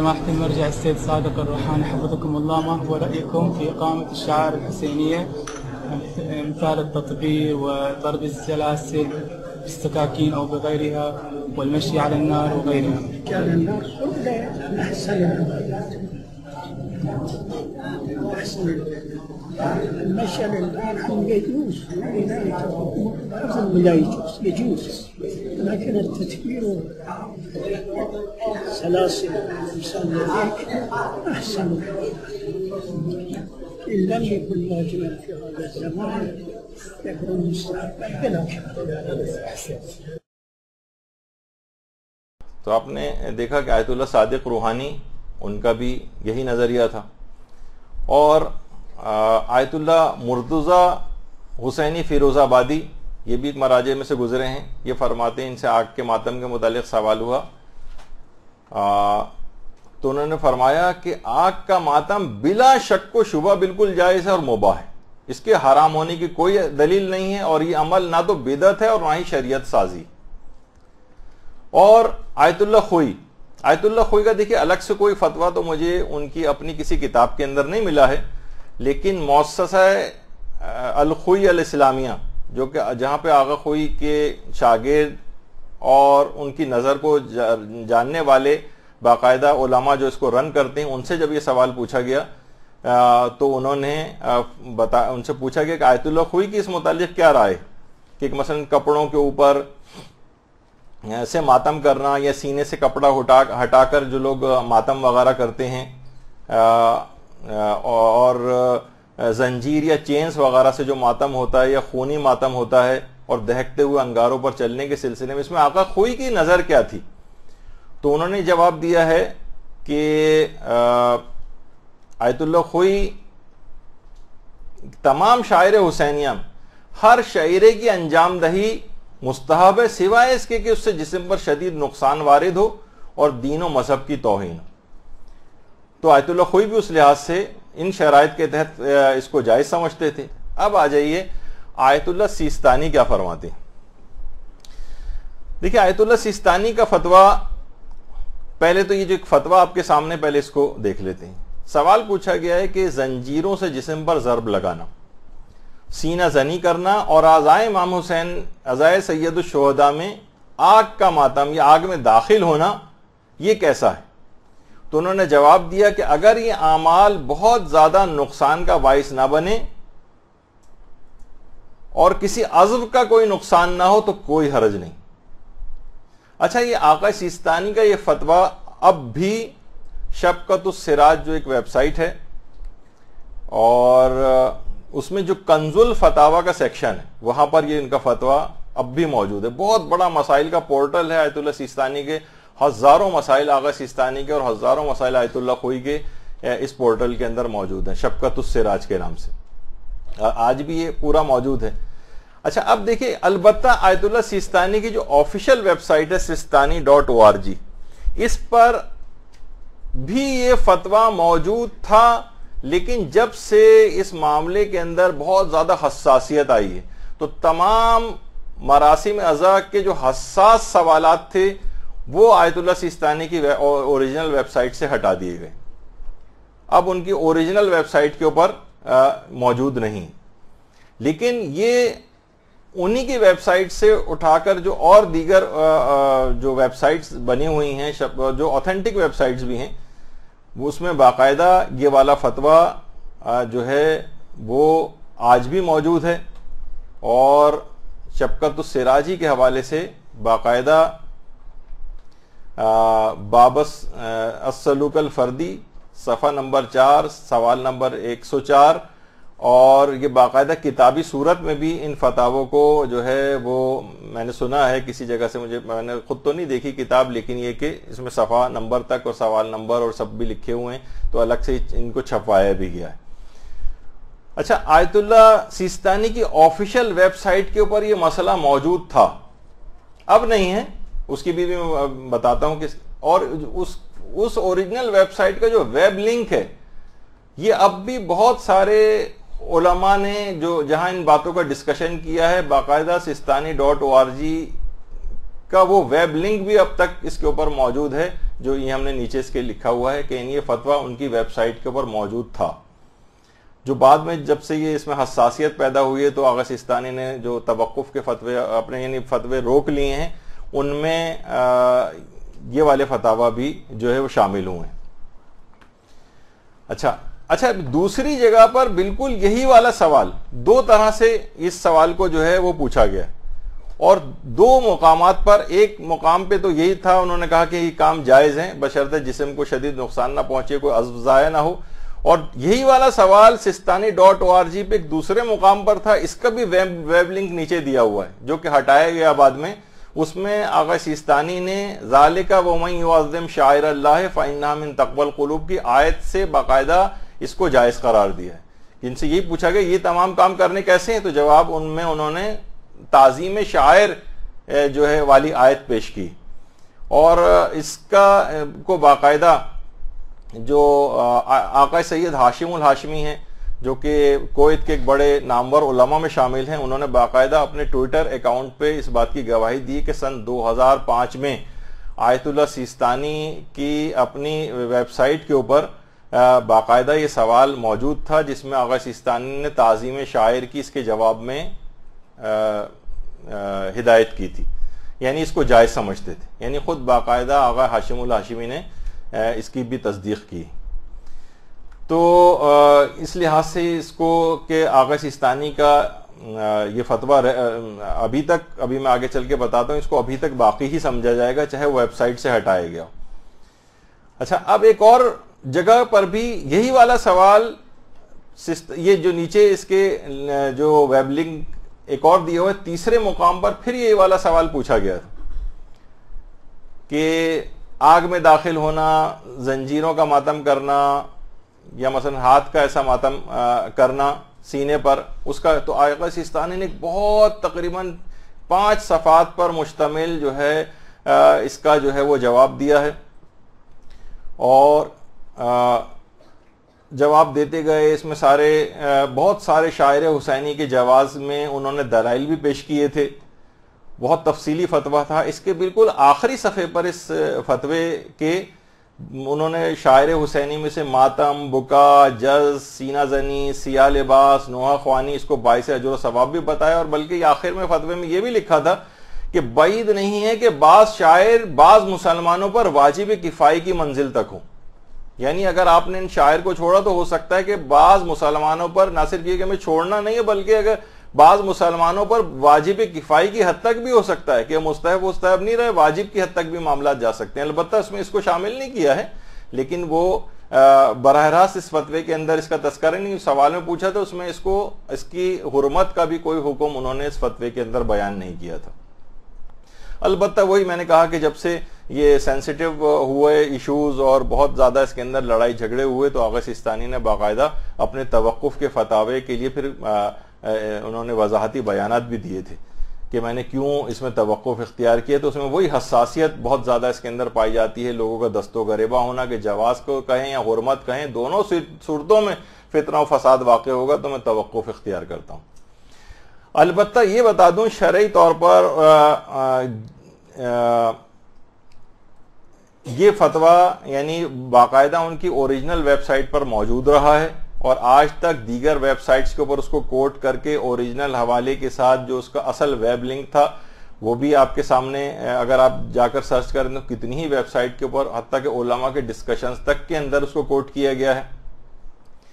तो जब तक अच्छा सिर्फ़ वेबसाइट से हटा देना किसी मसले को, इस बात का सबूत नहीं है कि उन्होंने अपने फतवे को तब्दील किया ये एक फ़िक्र में आपको बता रहा हूँ, ये कोई दलील नहीं है, सिवाय इसके कि कोई नासिक फतवा आ जाए। मसलन आयतुल्ला सिस्तानी का अलग से कोई नासिक फतवा आ जाए कि वो मैं, कि वो मैंने पिछला फतवा जो है तब्दील कर दिया है, और अब मेरा फतवा ये हो गया है। अगर ऐसा हो गया तो फिर हम वो तमाम फतवों को कैंसिल समझेंगे। लेकिन किसी हसासियत की बिना पर वेबसाइट से किसी फतवे को हटा देना इस बात की दलील नहीं कि उनका नज़रिया बदल गया है और वो पहले जवाब के कायल थे तो अब हुरमत के कायल हो गए नहीं, ऐसा नहीं। ये किसी भी उस लिहाज से फ़िकी उनवान से चीज़ साबित नहीं होगी जब तक कि हाँ अलबत्त ये साबित हो जाए, कोई फतवा आ जाए। अलबत्त इतना ज़रूर बता दूँ कि एक फतवा मेरी निगाह से गुजरा था और उसमें देखिए, वही मैंने कहा कि सवाल को भी समझना चाहिए। वो मैं बिल्कुल आखिरी मौक़ों पर मैंने उसको देखा तो मैं इसमें अभी शामिल नहीं कर सका लेकिन मैं जबानी बता देता हूँ। उसमें उनसे ये पूछा गया था कि क्या जज के उनवान हमने सुना है कि इसको जज के उनवान में शामिल करके आपने आग के मातम को मुस्तहब करार दिया है? तो आगा सिस्तानी ने जवाब में लिखा है कि हमने इन अल्फाज के साथ ऐसा कोई फतवा नहीं दिया। और वाकई उन्होंने जज के उनवान में दाखिल होकर तो उसको मुस्तहब नहीं करार दिया। वो तो अब जो पिछले भी फतावे थे, वो सिर्फ़ जायज़ होने के फतावे थे। तो बहरहाल ये आगा सिस्तानी के हवाले से एक बात रही। तो ये मैंने आपकी खिदमत में पेश कर दी। अच्छा एक अब हाँ अलबत् अब एक मिसाल ज़रूर है जब फतवा बदला है। लेकिन वो उल्टा बदला था। अच्छा उल्टा क्या बदला था? अभी तो हम ये कह रहे हैं ना कि उनका फतवा जायज़ का था जो उन्होंने हराम कर दिया था। लेकिन हराम का तो कहीं कोई फतवा उनका है सिर्फ़ वेबसाइट से लिंक का हट जाना हराम होने की दलील नहीं। ये मैंने कहा, जब तक कि कोई अलग से कोई एक्स्ट्रा फतवा ना आ जाए तो पुराना ही फतवा वैलिड समझा जाएगा। अच्छा अब Ayatollah Sheikh Jawad Tabrizi. Ayatollah Sheikh Jawad Tabrizi से सिरातुल निजात जो उनकी किताब है, उसकी सातवीं जिल्द में। यह फतवा है और ये फतवा बाद में तब्दील हुआ है। अच्छा ये फतवा पहले ये तो सुन लीजिए। इसको लोग, इस फतवे को उनकी किताब का हवाला देके लोग कहते हैं कि देखिए आका जवाद तबरेजी भी आग के मातम के खिलाफ थे। जबकि ये बात बिल्कुल गलत है। और उसके बाद एक और फतवा आया जिसने इस बात को गलत साबित किया कि देखिए, पहला फतवा क्या है कि बाज, सवाल पूछा गया, बाज इमाम बारगाहों में अंगारे दहकाए जाते हैं, फिर उन्हें बुझा दिया जाता है। और उसके बाद लोग इमाम हुसैन और उनके अहले खाना से मवासात के कसद से इस पर चलते हैं। क्या ये अमल सही? जवाब क्या दिया है? ये अमल जजा में शामिल नहीं। जजा में शामिल नहीं है और शायर का उनवान नहीं। देखिए, पहली बात तो यह है कि इसमें सिर्फ़ जजा के शायर में ना होने की नफी की गई। ये हम पहले बता चुके हैं कि सिर्फ़ जजा के उनवान से बाज़ात शायर में नहीं होती ये दलील हरमत नहीं होता। बल्कि इससे साबित होता है कि ज़्यादा से ज़्यादा ये अमल को वो मुस्तहब नहीं समझते थे लेकिन मुबा समझते थे। जैसे आगा खोई का मैंने बयान किया था वो कहते थे कि मवासात के लिहाज से बाईस अजर सवाब है। आ, लेकिन जजा के उनवान में शामिल होकर हम हमारे पास हम इसे मुस्तहब नहीं करार दे सकते। तो उनका भी ये फतवा इस लिहाज से था। अच्छा अब बस ये ख़त्म होने वाली, मुझे पता है कि आप लोग काफ़ी बेचैनी हो रही है और गुफ्तु बहुत टेक्निकल है, लेकिन एक दफ़ा ये मसला हल हो जाए तो फिर हमें बार बार इस पर गुफ्तु की नौबत नहीं आएगी। अच्छा उसके बाद एक और फतवा आयतुल्ला जवाद तबरेजी के ऑफ़िस से ही जारी हुआ, जिसको अक्सर उलमा ने जो है वो कोट किया। जिसमें उन्होंने फरमाया है कि अहल बैत के बच्चों से मवासात के उनवान से आग पर मातम को शायर में शुमार किया है। इसे एक नया फतवा करार दिया गया। बहुत से उलमा ने अपने पेजेस पर इस फतवे के जो अल्फाज हैं उनको कोट किया है। और उसके बाद एक और फतवा भी आया कि ये तमाम शायर हुसैनिया उनकी तमाम अकसाम का सवाल किया गया उनसे कि जंजीर जनी और तदबीर और मसलन जो मशल उठाकर बहुत से मौके हैं जो वो आ, आ, चलते हैं और आग का मातम क्या ये ये चीज़ें जायज़ हैं? तो आयतुल्ला के दफ्तर से ये बाकायदा फतवा हुआ कि वो तमाम मज़ाहिर अज़ा जिन पर जज और हुसन अहल बैत को अनुमान सादिक हो, वो सब उमूर मुस्तहब और खसूस शियों के वो गैर मुतारफ अमाल भी, यानी वो मज़ाहिर जो शिया अंजाम देते हैं, जिनसे लोग मुतवजे होते हैं और इमाम हुसैन के लिए जज्बा हमदर्दी एक बेदार होता है। लिहाजा वो पहले वाला फतवा जो आपने देखा, वो भी खिलाफ नहीं था। उसमें सिर्फ़ इस बात की नफी की गई थी कि जज्ब में शामिल नहीं, यानी मुस्तहब नहीं करार दे सकते इसे। और बाद में एक दूसरा फतवा आया कि नहीं, अहल बैत से मवासात के उनवान से में ये शायर में दाखिल। तो वो जो पहला फतवा था, जो किताब वाला फिर मैंने तहकीक की कि जो बाद के एडिशन किताबों के, आ, छपे हैं, उसमें से उस पहले फतवे को निकाला गया या नहीं? तो बहरहाल, एक जगह पर जहाँ सात, जहाँ सारी की सारी उनकी सिरातुलजात को वेबसाइट के ऊपर जो डाला गया है, वहाँ पे मैंने जाके चेक किया। तो मुझे, हालाँकि मैंने अच्छी खासी उसको दिक्कत से एक लिहाज से चेक किया, लेकिन मुझे किसी भी जगह वो फतवा अब नहीं मिला। इसका मतलब ये कि वो निकाल दिया गया था, कि जिसमें उन्होंने शायर में से करार नहीं दिया था और बाद में आगा ने इसको शायर में से करार देने का मवासात इतफाल अहल बैत के उनवान से बच्चों के साथ के बच्चे जिस तरीके से आग में से निकले थे तो उनसे हमदर्दी की बिना पर इसको शायर में करार दिया। तो एक नासिक फतवा जो है, वो इस सिलसिले में आया। तो अब ये कहा जाएगा कि आयतुल्ला शेख जवाद तबरेजी भी इसके शायर में होने के भी कायल हो गए थे। और हुरमत का फतवा तो पहले भी नहीं था उनका। वो सिर्फ़ शायर की नफी की गई थी कि शा, शायर में शुमार नहीं करेंगे। यानी मुस्तब करार नहीं देंगे लेकिन मुबाह हरमत की कोई बात नहीं थी।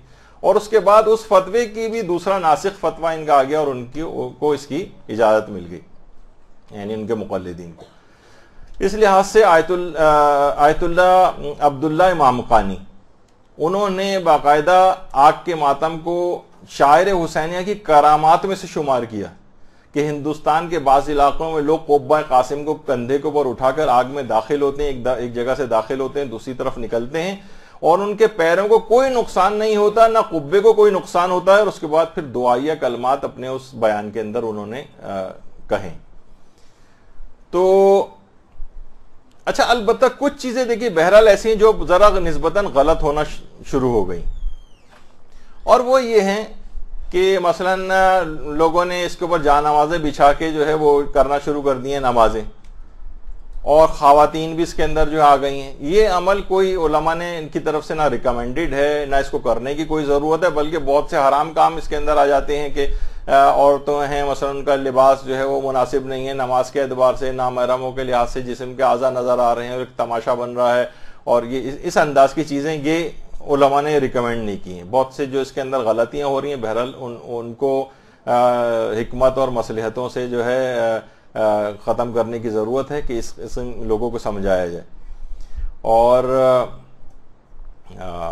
बहरहाल ये कि ये सिर्फ़ इन इलाकों के अंदर नहीं होता बल्कि ईरान वगैरह के अंदर भी होता है। अच्छा बाज़ात ये होता है कि हमारे एक चीज़ और भी बहुत बड़ी बड़ी सी ये आग के माध्यम के बहुत बड़ा एक एरिए के अंदर इसको करते हैं कि बहुत ज़्यादा कदम उठाकर आदमी चलता हुआ जाए तो उसके पाँव को अक्सर मुमकिन है कि कोई नुकसान भी पहुँच जाए। तो इतने इतने ज़्यादा बड़ा बनाने की ज़रूरत नहीं है और इसको छोटा तौर पर, यानी आपको सिर्फ़ एक सवाब या मवासात का इजहार भी करना है तो छोटा सा एक उसमें अंगारों को थोड़ा दहकाएँ उसके बाद बुझा दें और उसके बाद दो एक कदम रखते हुए चले जाएँ तो किसी को कोई नुकसान भी नहीं होगा ना मेरा ख्याल है किसी जगह पे तोहिन मज़हब का सबब बनेगा। तो अगर छोटे लेवल के ऊपर हो तो इसमें कोई फितना फसाद भी वाकई नहीं होगा और कोई पाओ को भी कोई नुकसान नहीं होगा। मेरे अपने एतबार से अगर इसको, इस अंदाज से अगर कर लिया जाए तो लोगों के जज्बात का भी इजहार हो जाएगा और कोई इसके अंदर हराम नहीं होगा। लेकिन वो बहुत ज़्यादा आग को दहकाना और बहुत बड़ा उसका एक स्पैन जो है वो पूरा स्पेल जो है बना देना और आ, बहुत लंबा एक उसमें चलने में मुश्किल होती है। बाज़ात कोई गिर भी सकता है कोई नुकसान भी उसको पहुँच सकता है तो वो बात भी आ, आपके सामने आ जाए कि नहीं इसको बहुत से तरीक़ेकार से आ, उस बेहतर भी जो है उसको बनाया जा सकता है मजीद। कि लोग बजाय इसके कि इसके ऊपर कोई दौड़ना और वो कि आराम आराम से चलते हुए भी वकार पुर वकार अंदाज में तो फिर किसी को आ, कोई एतराज़ की बात भी नहीं हुई। तो बहरहाल नतीजा गिरी के तौर पर यहाँ पर इस बात को हम ख़त्म करेंगे कि इतने बड़े बड़े ओलामा और मराजे आपने देखा कि दोनों तरफ़ बहरहाल मौजूद हैं जो हरमत के कायल हैं उनकी भी अजमत हमारे दिलों में है उनके फतावे का भी एहतराम है।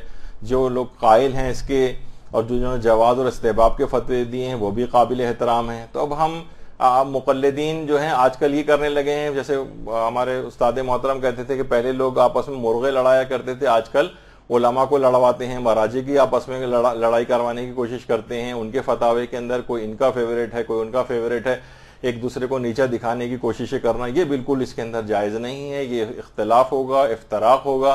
और इसका हल फ़कत और फ़कत ये होगा कि हर शख्स अपने अपने मराजे के मुताबिक जो अमल करे और उनके फतवे के मुताबिक चले। और अफरात तफरीद अगर किसी जगह पर कुछ जगहों के ऊपर कुछ मरासिम के सिलसिले में है तो उसके अंदर उलमा आगे बढ़ें और बड़ी हिकमत के साथ। अगर मसलन सिर्फ़ ये करेंगे कि जनाब आ, लोगों को सिर्फ़ ये कहेंगे कि आ तुम जाहिल हो वैशी हो गंवार हो और तुम्हें दीन का वो नहीं है और एक दूसरे को गालियाँ वगैरह देना तो इससे मसाइल और इख्तलाफ बहुत ज़्यादा बढ़ेगा।